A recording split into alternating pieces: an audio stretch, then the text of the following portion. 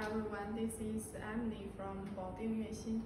Today I will introduce you an ultra thin fan coil unit used for home. Uh, first, um, you can look at the thickness. It's slim and thin.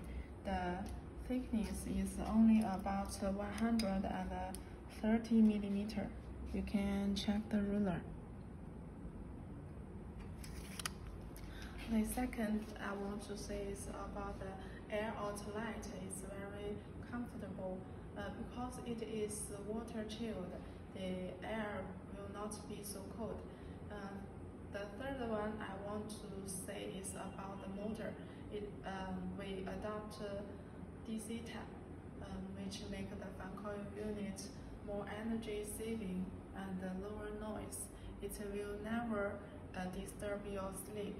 It will let you have the healthy and uh, comfortable life.